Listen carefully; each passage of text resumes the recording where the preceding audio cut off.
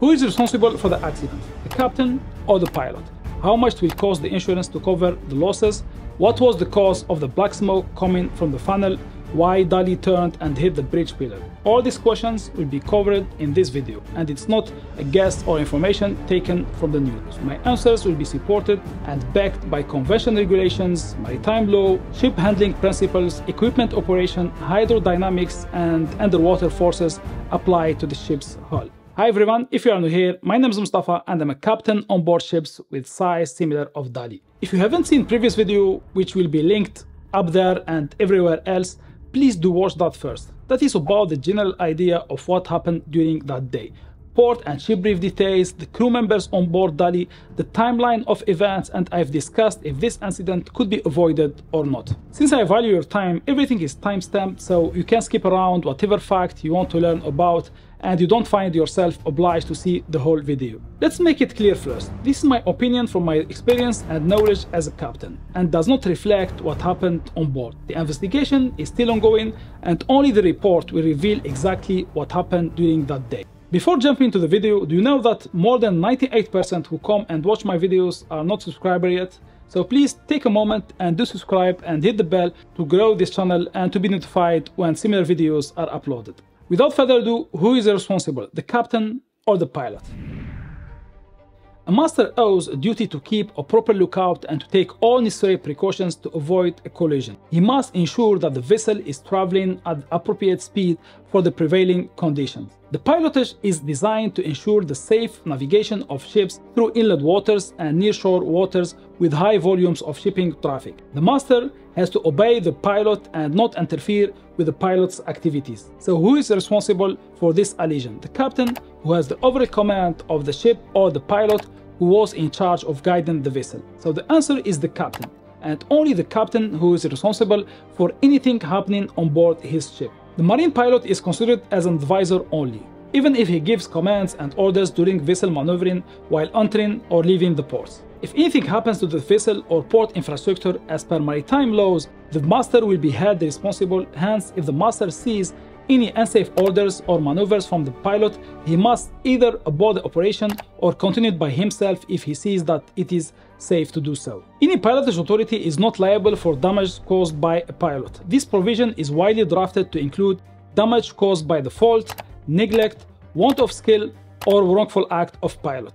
An owner and a master are not exempted from liability for damage caused by a ship because the ship was under the control of pilot. How much does this cost for the insurance? Master of a ship is an employee of the owner of a ship. Accordingly, the owner of a ship is liable for the acts of a master in the course of his employment. For insurance purposes, this means that an owner of a ship is liable for property loss personal injury or death resulting from the negligence of the master. The Baltimore incident will result in the largest single marine insurance loss ever. Experts say the damage could cost as much as 3 billion US dollar to insurance companies. Damage to the bridge itself could amount to 1.2 billion dollar. While insurance companies may face fees between 350 and 700 million for wrongful death. So how these amounts are calculated? Let's take only the example of the wrongful deaths. In our case, sadly, six people died in the incident. In 1976, IMO International Maritime Organization adopted the Convention on Limitation of Liability for Maritime Claims, LLMC, which specifies limits for two types of claim, those for loss of life or personal injury and property claims, such as damage to ships, property or harbor works, the key bridge. Before going further, let's define two terms that we need them in our calculations. SDR, Special Drawing Rights, are supplementary foreign exchange reserve assets defined and maintained by IMF, International Monetary Fund.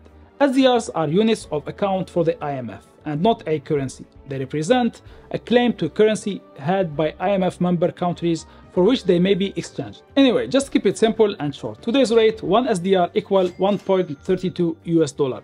And the second term is the GT, ship's gross tonnage. It is a number specific for each ship and calculated based on volume for all spaces of the ship and is used to determine things such as ship's manning regulations, safety rules, registration fees, and port dues. So let's begin our calculations. As per the LLMC convention, the limit of liability for claims for loss of life or personal injury on ships not exceeding 2000 gross tonnage is 3 million SDR, equivalent to almost 4 million US dollar. This only for ships with gross tonnage less than 2000 and Dali's gross tonnage is 91,128. For larger ships, the following additional amounts are used in calculating the limitation amount. 1200 SDR for each ton from 2000 to 30,000 tons and gives us 44 million dollars. 906 SDR for each ton from 30,000 to 70,000 tons and gives us 47 million US dollar. 604 SDR for each ton in excess of 70,000 and gives us 16 million US dollar. So the total is 113 million dollar for one death only. For our case, six persons lost their lives. So the maximum amount to be claimed for wrongful death is 679 million US dollar. Ahead of what will be years of legal wrangling, the owner and manager of the world's most discussed ship, Dali, have sought to limit potential payouts from the Baltimore Bridge allision. Singapore-based Grace Ocean and ship manager Synergy Marine filed a limitation of liability court petition seeking to cap the liability to just 43.6 million. petition claims that the vessel itself is valued at 90 million and that is owed more than 1 million in income from freight. The estimate also deduct two major expenses, at least 28 million in repair costs and at least 19 million in salvage costs. That is emergency power, and this is what you see here, and it was twice.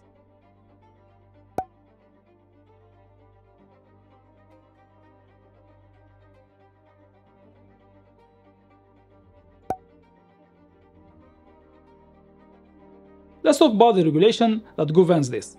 The SOLAS Convention, Safety of Life at Sea, is generally regarded as the most important of all international treaties concerning the safety of merchant ships. The first version was adopted in 1914 in response to the Titanic disaster. The main objective of the convention is to specify minimum standards for the construction, equipment and operation of ships, compatible with their safety. SOLAS applies to cargo ships of 500 gross tonnage or over and passenger ships on international voyages. The emergency generator is covered in Chapter 2.1 Construction and Structure, Part B Electrical Installations, Regulation 43 Emergency Source of Electrical Power in Cargo Ships. In case of the failure of the main power generation system on the ship, an emergency power system or standby system is also present. The emergency power supply ensures that the essential machinery and system continues to operate the ship. As well as the emergency generator of the ship should satisfy a couple of conditions, such as there should be at least two means of start, mostly battery start and hydraulic start. There should be a separate fuel oil tank the image generator should be able to supply power up to 18 hours in case of cargo ship and up to 36 hours in case of passenger ship and other conditions. But the important one for our video that it should come a load automatically within 45 seconds of the power failure. Come a unload and not it should start. What I mean by that, within 45 seconds it should start then connect to the main power system and supply electricity to specific equipment. We'll discuss them in a second. Before that, let's go back to the allision video and initiate a timer to see if it was started within 45 seconds or not.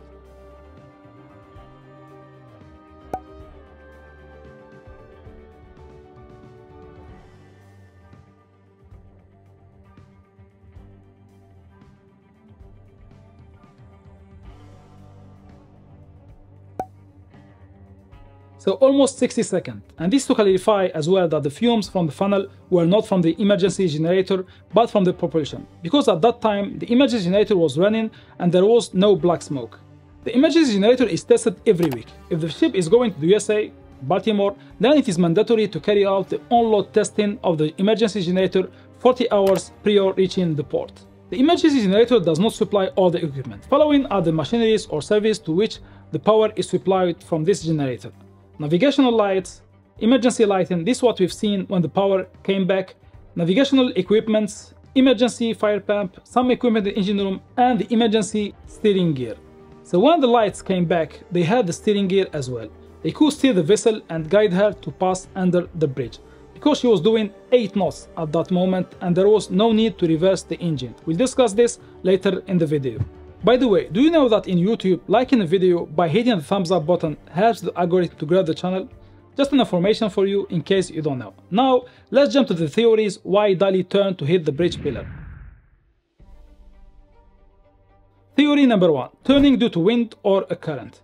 During that day, there was a light wind around 5 to 7 knots direction southeast, and the vessel was doing 141 when transiting through the channel, which means the wind direction was opposite to the ship's course, and this will slow down the vessel and does not turn or swing her to starboard. So turning due to the wind is excluded.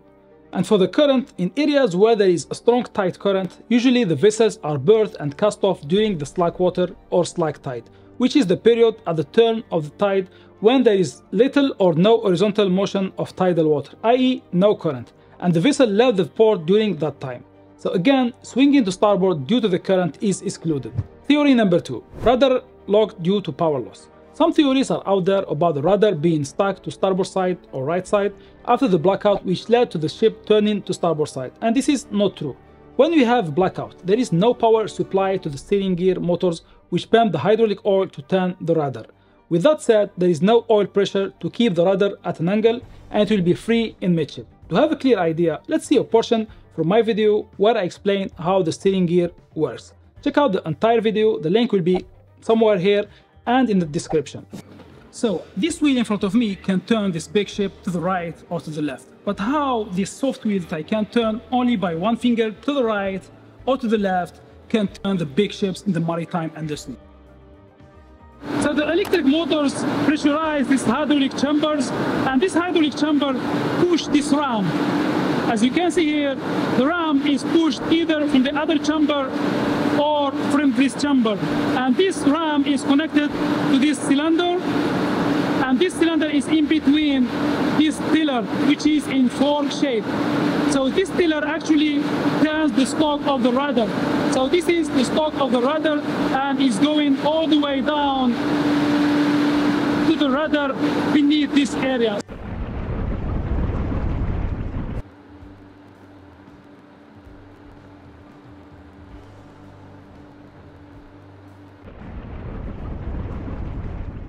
So this theory is excluded as well. Theory number 3. Dropping the anchor turned the vessel. Actually, the port anchor was dropped to stop the swing to starboard side, which was already initiated beforehand and the vessel was turning to starboard. So this theory is excluded as well. Theory number 4. Turning due to bank effect. Let's define the bank effect first. The vessel here was sailing in dredged channel, which means a channel with more depth, around 25 meter to allow big vessels like Dali enter the port safely without touching the bottom. That being said, the side of the channel, called banks, have less depth around 5 to 6 meters. The bank effect, and also called channel effect, bank suction, bank cushion, stern suction, is the tendency of the stern of the ship to swing toward the near bank when operating in river or constricted waterway. The asymmetric flow around the ship induced by the vicinity of banks cause pressure differences between port and starboard side, and this is Bernoulli's principle. As a result, a lateral force will act on the ship mostly directed towards the closest bank, as well as yawing moment pushing her bow towards the center of the waterway. This phenomenon depends on many parameters such as bank shape, water depth, ship bank distance, ship properties, ship speed, and propeller action. So this theory may and may not be considered. It may be considered assuming the vessel was correcting the bank effect with rudder before the blackout and once the power was lost, she started swinging to starboard side due to this effect. However, this may not be the case because the bank effect acts on the vessel gradually and not a sudden swing as we can see in the video. So in my opinion, this theory is excluded as well. And this brings us to the last theory. Theory number 5. Turning due to engine reversal. Over time, various propeller designs have been conceived to meet different performance specifications and operational conditions. These designs have been guided by factors like engine power, size of the ship, speed requirements, and the specific mission of the ship. That is proved by a single low-speed, two-stroke crosshead diesel engine coupled to a fixed right-handed pitch propeller. This is a bit technical, just ignore it. And keep in mind, and this is important to understand the theory behind the sudden swing or turn to starboard, which I see the most reasonable and again this is only my assumption based on my experience and knowledge as a captain. A propeller is called right-handed if it rotates clockwise when the engine is turning ahead when viewed from the stern, and it turns anti-clockwise when the engine is reversed to stern. Hydrodynamics play a significant role in shaping the efficiency of ship propellers.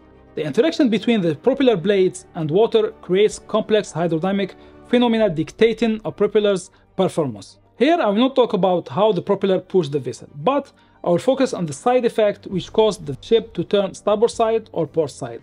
So when the propeller is turning, the blades are encountered with a counter pressure from the seawater.